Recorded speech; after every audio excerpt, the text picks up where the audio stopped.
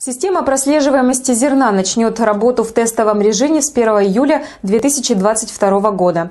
Это следует из постановления правительства, которое на днях подписал Михаил Мишустин. С 1 июля по 31 августа 2022 года сельхозпроизводители смогут в добровольном порядке вносить в систему данные о сборе зерна и масличных.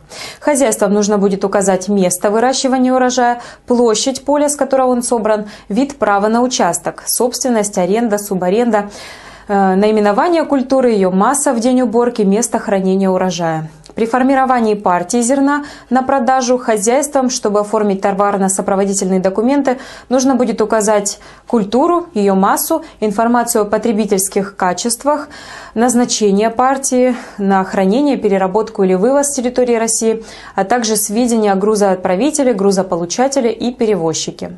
С 1 сентября 2022 года внесение